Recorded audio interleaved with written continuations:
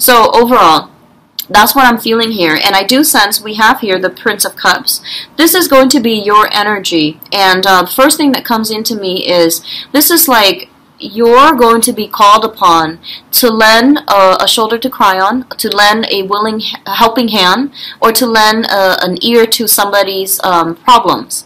And I do feel that you're coming to this, you're doing this gladly. I don't feel that there's any resentment from your end about having to like um, be there for somebody. But I do feel it's somebody within your family unit, and I do sense there's a lot of communication. So you're either physically there or you are there like over the phone talking to them if you're long distance from family members. But there's going to be possibly hearing about you know health, hearing about financial issues, or hearing about possibly having your parents um, you know purchase another property, or hearing somebody that you grew up with that you consider family purchasing property. So there's going to be a lot of communications within the family unit. They might ask you for your advice, and I feel for some of you, and this is um, a very specific message someone might be wanting to purchase a property and their credit is not looking great.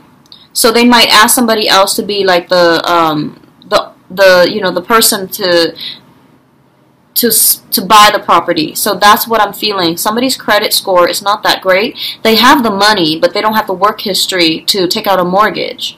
So someone else might do it in their place, in their stead, and I feel like there's a discussion here, and I feel like you might be the one to lend a helping hand, okay? And you're not doing it begrudgingly, but you're also a little bit nervous about it. Um, I do feel they're trustworthy. I do sense that about them so you know do as you you will but i do sense like um you want to ask questions about why the other person's um, credit history is a little bit shaky first. And you know like a lot of the times you you, ha- you guys have a very very good giving heart. And you might just uh, rush in you know if it's family no problem i'll do it. But you might want to ask like what's in your credit history that's a little bit you know um, problematic for the credit bureau and for the mortgage people. So like you want to ask these questions first and I want you to know that it is within your power to say yes or no. Don't feel obligated, okay? Because um like I said, the other person has money, so they, they can find another person. They can find another way to do it. But I feel like they're relying on you because they trust you. So whenever someone asks us a favor, right, it is within our power to either accept or reject, right? So don't feel obligated, okay? Don't feel like you have to do anything, all right? So um, doing a little bit more digging, that would actually um, appease your worries, all right? Um, so the next card here is finance related once again. And I do feel this is like the financial issue affecting the emotional state. Okay, there's this um, emotional up and down with you and it concerns travel. Having to travel a lot, possibly um, planning travel, and feeling your money, like your financial resources, dwindling as a result. So I do see actually a lot of movement with you, a lot of friends to see, a lot of people to meet, and um, even a lot of clients to take out, okay? And I do sense that um, it's really important for you to keep all the receipts, keep everything so that you are getting properly compensated. I feel a lot of expenditures coming out this month and uh, there might be like a one month, two month gap before you are being reimbursed. So make sure you keep everything, receipts and items, and you know like tra- economic transactions for clients, so that you can keep them for like at least two months before you can get reimbursed. I do feel some snags along the way if you're looking for reimbursement. If you're looking for money to come from a uh, an institution, so that could be if you're working for the government and you get your paycheck. If you're working for, um, if you're looking for loans, mortgage, and things like that, I do feel there are going to be communication that might delay the situation. It doesn't mean that it's gonna not going to happen at all, but I do feel there will be delays because someone is like um, looking over some documents with a microscope, and I feel that it's going to take them a while to sort things out and to approve you. Okay, so you might need to call back and double check. You might need to call back and follow up on with them when it comes to the financial um, payout that's supposed to come from a big institution. All right. In terms of your advice, here's what I'm sensing. We do have the Five of Pentacles, which is a, a, problematic card when it concerns finances and money and assets, okay? So this is joint assets dealing that is linking you up with another person. Sometimes the situation is a little bit difficult to extract and extract yourself from. And so be very, very careful about um, not letting financial considerations keep you in an environment where you're not feeling happy, where you feel very stuck and stagnant. So you need to go out into the world to create the financial security that for yourself in order to achieve the life that you want. So don't let financial considerations that's to link you up with another person and to really restrict your movement, okay? This is also a very, very good card in which two people actually, you know, especially in love, but I'm not doing the love reading just yet. But the alternative um, explanation here is that I do feel that you're going to come back into contact with another person. And there is almost a sense of like, um, having a karmic tie, having sharing a past life together. And I do feel there's this really beautiful energy about two people who are going to rough it out with each other through thick and thin. And uh, no matter what life throws at them, they have faith in one another and they're going to be by each other's side. So I feel like you have somebody like that in your life where you can always come to and you are realizing the importance that uh, the major role that this person has played in your life and you know that no matter what, after like even like if you haven't seen each other for three years, you can pretty much pick up where you left off. So this is a really, really deep rooted either business partnership or friendship or someone from your family that you really care for. They might have come um, upon some hard times and they might want, you know, like a shoulder to, to lean on.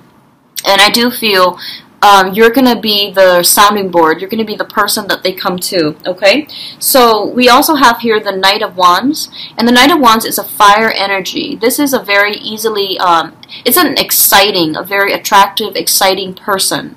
And there's a lot of movement associated with this person. For some of you, this is your energy where you are basically um, overcoming, okay? And I do say overcoming because the finances looks very good for you guys you're moving away from it. You're moving from a away from a place of financial poverty, spiritual poverty, and even like emotional poverty. You're in a really good emotional space for this month, and a lot of you are taking risks to free yourself from situations that have been um, kind of like they're they're stable, definitely stable, but they were not optimal for you, and you're moving away from it, and you're looking for new energies. And in terms of the advice, that's what they're telling you to do. In order to break away, though, you are going to have to take risk, okay? And I do feel once again we have a home move. The Ten of Wands usually means picking up the pieces and moving on, okay? Um, it's a cumbersome process. It's um, it's very mundane. It's very like tedious. No one really wants to do it, but I do feel the next phase of your life is going to be very exciting. So they really want you to downsize when it comes to uh, having a lot of clutter, having a lot of property, um, uh, having a lot of um, I'm sorry, items, cluttering your physical home environment. So getting rid of them, donating them, making some type of like clearing when it comes to your emotional space and your physical space, that's going to be really important for you to do. So declutter your environment. It will help bring in new energy into your house. Move some furniture around, shift some things to, you know, feng shui the house. And doing so would actually be a, a, really good clearing process for your emotional state too. I do feel you're in uh, feeling very very good emotionally, and you're feeling a lot of love and support finally coming through. So love, support, recognition. I feel coming through from your home environment where your parents are like um, family members are actually really proud of you. Okay, so this is going to be a really good month. Um, be careful about overspending. That is all cancers. So let's go into your love relationships and romance and see what's going on.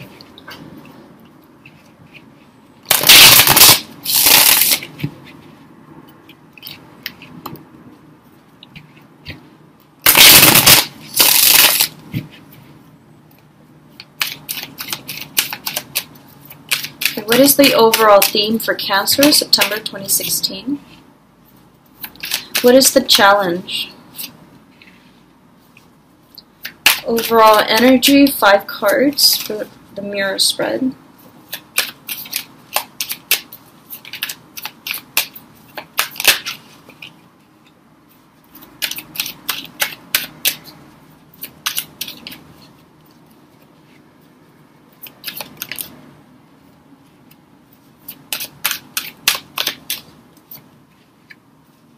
and your advice.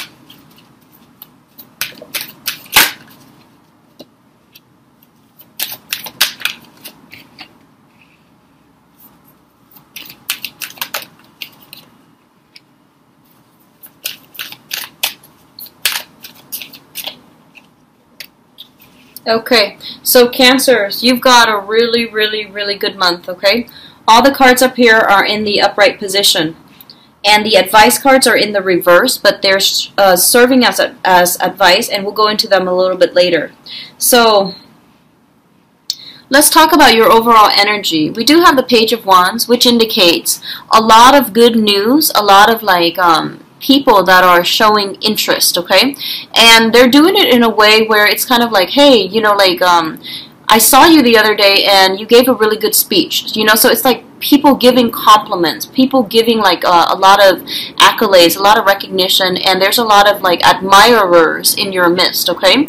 The Page of Wands is definitely messages, but it's not like the Page of Cups where it's like, hey, do you want to go on a date?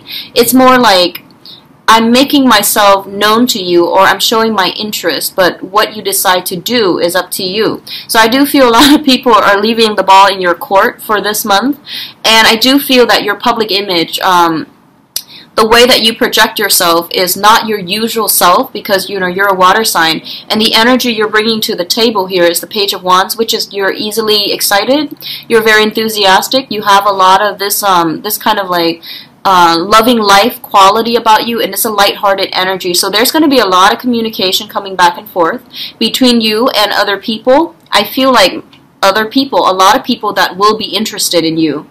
And uh, when it comes to a specific partner there might be like um, some type of when it comes to specific partner, I don't feel you're gonna have to push us hard to get the communication going or to get like you know this um, to get them to respond. So this is indicative of a lot of rapid communication coming in between you and the people that you're seeing, the people you're interested in, or the people that you are dating or in a romantic relationship with. Okay, what's showing up here as the challenge is the Wheel of Fortune, and I feel that I'm reading this card based on the picture, okay?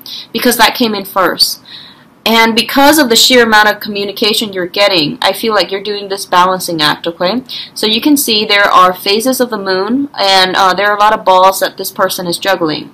Everything is up in the air, so the ball's in your court, and you can do as you as you wish. So I definitely feel you're dealing with people who are a little bit shy, who are a little bit commitment phobic as well. So on the one hand, they're like, hey, I'm interested in you. I just, you know, told you you smell nice. I told you you look very beautiful. And how you follow up with that is up to you. I definitely feel the other person is interested. But how you follow up with that is really up to you. The ball's in your court, okay? So I know you're, most of you are very shy and like I said, you know, the, the crab, whenever you see one at the beach, they go sideways. Um, they don't directly go for the things that they want. They go sideways, backwards, and around the object of their affection. And I feel a lot of you are quite shy. And once you've been uh, burned, you tend to retreat back in your shell for self-protection, okay? So I definitely feel that you're not comfortable with initiating. You're not comfortable. Even men, I feel like cancers in general are just like... Um, are, you know, water signs are receptive. And I feel that a lot of you are not comfortable taking the initiation um, in situations. So I feel like on the one hand, the other person has shown you that they're interested, but I feel you sitting there and you feel uh, you you have this negative self-talk. Like, did they say that because you know they're trying to be nice, or did they really do they really like me? Well, I think they really like you, and I feel like they're they're shy themselves and they might come off confident, but I do feel they're quite shy. So in the process of leaving the ball in your court, it's, it's posing as a challenge for you because you have all these options and you don't know what to do. You don't really know how the talks and discussions are going to be um, airing on the legal side, which is, you know, um, a lot of you might have custody issues with an, uh, with an ex or with a current partner that you're trying to work out, I feel like it's with an ex, okay? If you have like a child with an ex or if you have like some legal custody issues, it's going to end up very favorably. There's going to be clear communication, which is like, um, I don't feel it's going to be um, conflictual. I do feel that it's harmonizing, and you're trying to decide, you know, like um, settle like custody or alimony or something like that as it pertains to a child um, that is going to be something that also gets in the way if you're trying to start a relationship as well because I feel like it's coming in in the relationship spread meaning this is something that you need to sort out first before you can successfully uh, get a relationship off the ground with another person okay? So at the center once again we do have the chariot. Things are going to go your way. I do feel this is such a good month for you guys. Um, it does want you to take it slow, but I do feel that you and another person are working together in a very harmonious manner to move things along. And I feel like a lot of you, um, you might have a, an you know, you, you might have two options on the table here, especially for singles. I do feel a very passionate fire sign.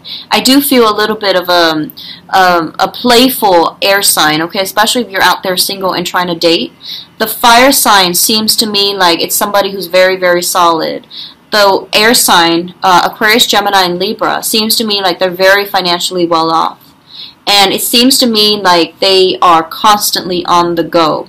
Um, they might have escaped. I feel like literally they might have escaped from a really bad relationship. So they're very skeptical about who they're dating, okay? So with this uh, air sign, Aquarius, Gemini, and Libra, they might have a lot of baggage from the past they're trying to overcome.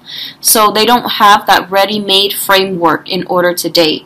And I feel like you might like them, but you it's hard to read it's hard to read their intentions. It's hard to read their feelings. It's hard to gauge how they feel about you. So I feel like that's um that's that channel of communication will open up. And I see for some of you that you might have started dating an air sign, Aquarius, Gemini, and Libra, and the relationship might be lacking in chemistry. Whereas if you're dating a fire sign, everything is just like you know really hot and heavy. Um, but it's a little bit difficult to make your life converge, right? Whereas with the air sign, everything is already there, like you're on the same path.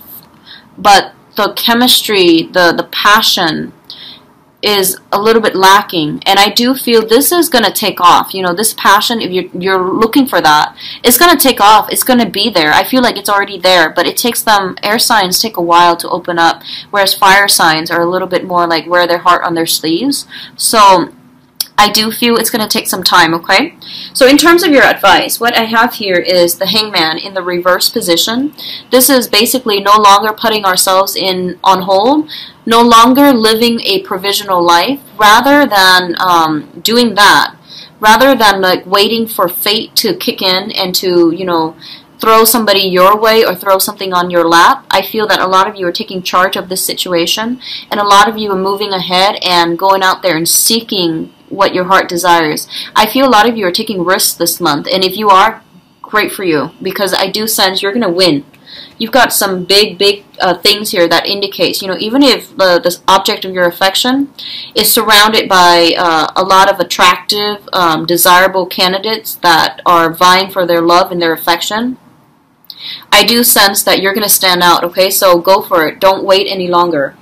Um, in terms of the past energy here, I do have the star card in the reverse. So I feel like, especially for those of you who have been in like um, bad relationships or that that was you know long standing but very toxic, and you recently extracted yourself, you took some time off to do some healing.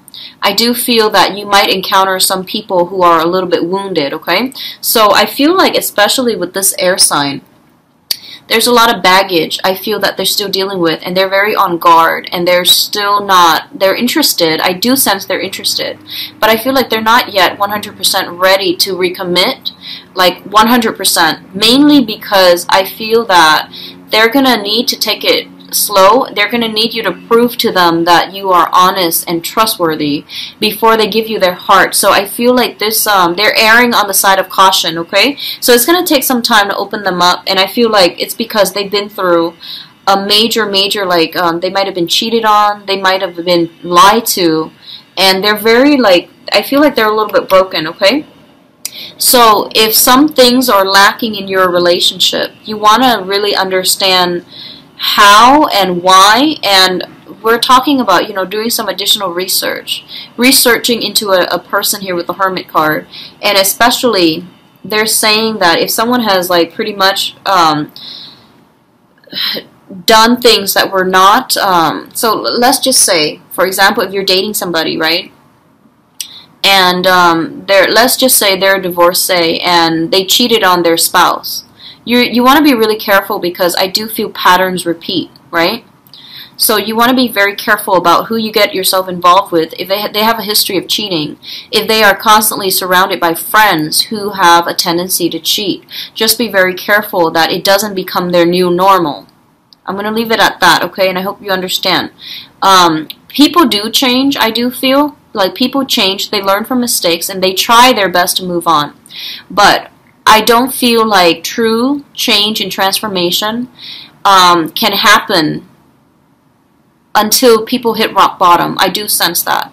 So it takes massive, massive amounts of energy, massive and massive amounts of um, circumstances um, for people to change. So if you like immediately are getting involved with someone and they have a history of like either lying or cheating from their past, not with you, but from their past, you want to approach it very, very slowly and you want to ask these questions about, you know, how have you changed? Like, what made you change? You know, was it like getting caught or was it because on a fundamental level you've changed? Because people will talk the talk, but when it comes down to it, when the temptation present themselves in the future, they most likely will resort to, you know, learn or familiar habits. So I'm just going to leave it at that. Just be very careful.